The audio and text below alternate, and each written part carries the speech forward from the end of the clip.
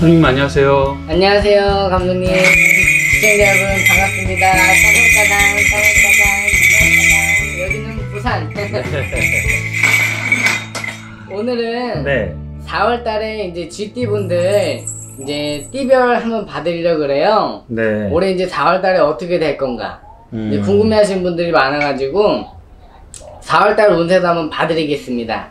음. 우선은 26세 병자생 분들부터 한번 봐드릴게요. 음. 우리 병자생 분들은 이런 이동수 같은 게 좀 들어와요. 음. 이동수가 들어오는데 이동수라는 거는 내가 뭐 앉은 자리가 바뀐다는 거거든요. 그거는 이제 뭐랄까 집 이동이라든가 이사를 한다든가 아니면 뭐 직장이라든가 직장에서 뭐 부서를 이동하거나 아니면 직장 그거를 이동하거나 그런 직장에서 이런 이동수도 들어오고 그리고 직장이 아니신 분들이 이런 취업에서의 운수도 괜찮게 들어와요. 네. 괜찮게 들어오는데 좀 걱정인 건 다만 이런 인연줄 같은 거 있잖아요. 애인하고의 그런 게 좀 서운해져서 좀 음. 이별수 같은 것도 살짝은 비추니까 그래도 잘 하시는 게 좋을 것 같아. 네. 서운하게 안 하시는 게 좋을 것 같아. 음. 그리고 우리 병자생분들이 생각보다 마, 말이 좀 차가우신 분들이 많어. 네. 그래가지고 애인이 좀 서운할 때가 있으니까 음. 잘해주시는 게 좋을 것 같아요. 네. 음.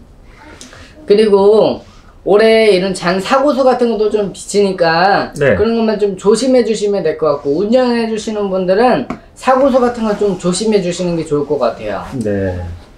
네 그리고 38세 갑자생 분들 한번 봐드릴게요. 음. 우리 갑자생 분들은 이런 문서나 이런 투자 같은 것도 운, 운수가 비쳐요. 문서운 이런 투자 같은 거. 네. 그리고 좀 조심해야 될 건 이런 사고수 같은 것도 같이 비추니까 좀 조심하셔야 될 것 같아. 음. 작년에도 별로 운수가 좋지는 않았던 것 같아. 이런 접촉사고가 됐든 간에 뭐 큰 사고가 됐든 간에 이런 사고수가 비치니까 좀 조심해 주셔야 될 것 같고. 아. 음. 그리고 지금 이거 이 다음에 50세 인자생분들인데 네. 가시기 전에 내가 재밌는 얘기 하나 해드리려고. 아, 네.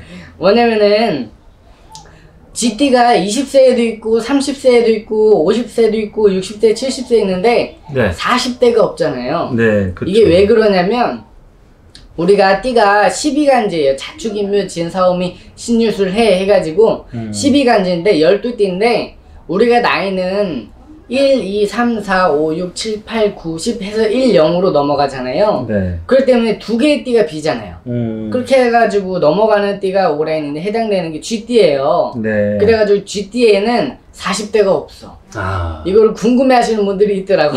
네. 네, 그래가지고 G띠에는 40대가 없어요. 이거, 이것도 또 이제 가다 보면 다른 띠에도 또 몇 살 띠가 없는 분들도 있어요. 네. 네. 그리고 우선은 하던 얘기 마저 해드릴게요. 임자생분들 한번 봐드릴게요. 네.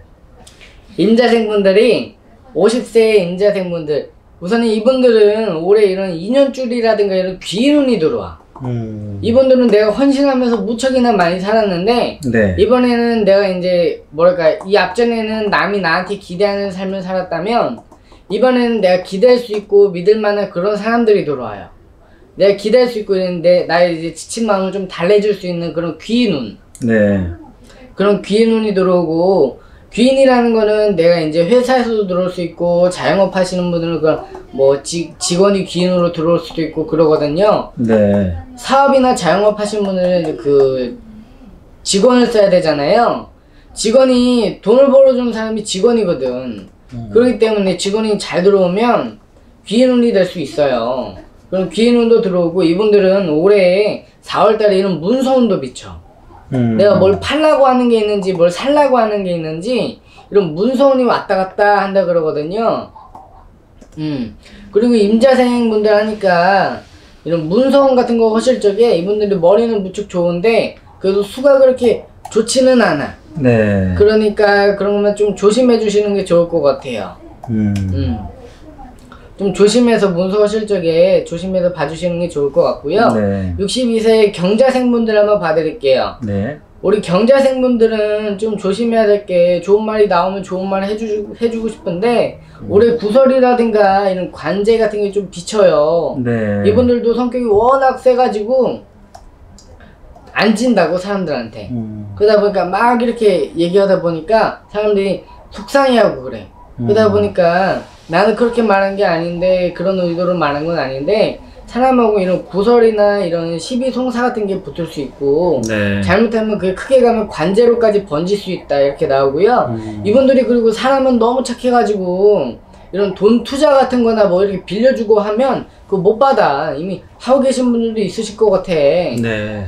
그럼 못 받으니까 좀 조심하셔야 될 것 같아. 음. 뿌린 게 있으면 얼렁얼렁 이렇게 거두셔야 될 것 같고. 네. 그리고 이분들은 그나마 다행인 건 자식 복은 있어요. 음. 자식 복은 있고 내가 조금 더 이제 나이 더 드시고 말년으로 가시면 자식들이 생각보다 잘 필 것 같아. 네. 우리가 농사 중에서 자식 농사가 최고라 그러잖아요. 그쵸. 이분들은 그래도 자식 복은 있어. 음. 열 손가락 깨물어 안 아픈 손가락 없다고 한 자식만 안 돼도 얼마나 속상해. 네. 근데 그래도 생각보다 다 잘 풀릴 것 같아요. 아. 음. 그 다음에 74세 무자생분들 한번 봐드릴게요. 네. 우리 무자생분들은 좀 걱정인 게 집, 집안에 이런 상문이 비쳐요. 음. 이런 상문 같은 거좀 조심해 주셔야 될 것 같아요. 그 마음의 준비를 좀 하셔야 될 것 같아. 네. 음, 마음의 준비를 좀 하셔야 될 것 같고, 이분들도 건강 관리는 잘 하셔야 돼요. 그리고 우리 무자생분들이 집안 그거로다가 보면 장수하신 분들이 많이 없어. 네. 그리고 집안에 이런 잘못하면 줄초상이 좀 비추니까 마음의 준비를 좀 하셔야 되고 이번에는 상가집은 안 가시는 게 좋아. 음. 왜냐면 조상줄이 좀 따라 들어오기 때문에 네. 이분들은 주당을 맞을 수가 있다고. 주당을요. 음. 우리가 사주팔자 없는 갑자기 이렇게 가는 그런 죽음이 주당 맞았다 그러거든요. 네. 주로 그런 사람들이 음, 이런 상가집 잘못 갔다 와서 그래. 음. 음. 상가집 잘못 갔다 와서 주당을 맞는 경우가 있으니까 이분들은 4월 달에 좀 조심해 주시는 게 좋을 것 같아요. 네. 네, 오늘은 어, 4월 달에 GT 운세 한번 봐드렸고요. 네. 다음 편에도 이제 재밌는 시간에 돌아올게요. 감사합니다. 네, 감사합니다.